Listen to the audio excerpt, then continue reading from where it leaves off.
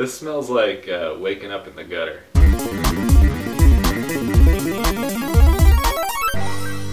Hey, I'm Cameron. I'm Clint. Today we have Patron XO. This was 99 cents. Really? Yeah, pretty good deal. I think they're just trying to get rid of them. Yeah. Uh, this is a coffee liqueur. Let me just. Wow, you gotta.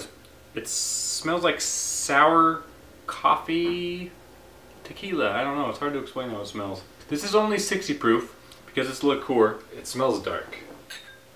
Thick. See how thick that is? Oh, the sugar makes that thick. Oh yeah. It smells different now that's in the. It smells way different. More tequila. I just got like the, the weird like chills. I've had a bad night on tequila, just washed all over me in that smell. Yeah. Not a lot of coffee presence in there. It's mostly tequila. Let's go and take a sip of this and see what the flavor actually is like. All right. Super sweet. Very sweet. I got no like hard alcohol burn No. afterwards either. Do you remember we had that cafe espresso frappuccino with the Italian, the Italian coffee drizzle on top? It kind of tasted like that.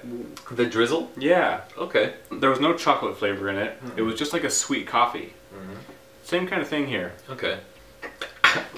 That's weird. It's weird how thick it is. Yeah, I would never go buy a bottle of this, but if you can get a like a double shot for a 99 cents, like snag one. Yeah. It's worth it's worth trying out. I could see like making a milkshake with this. Now you're talking. You know what? It's almost like a it's almost like a tequila Kahlua. If you like Kahlua and like tequila, bam.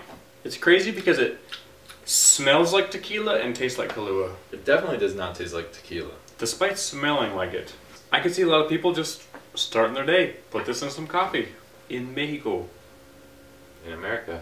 I'm not like rushing to slam this, and Yeah. I'm, we're splitting a double shot here. I think it would be good mixed with something, but just drinking it, I'm not into it. I don't dislike the flavor, but I also don't want to keep drinking any of it. It's kind of weird. Yeah. It's kind of like drinking medicine.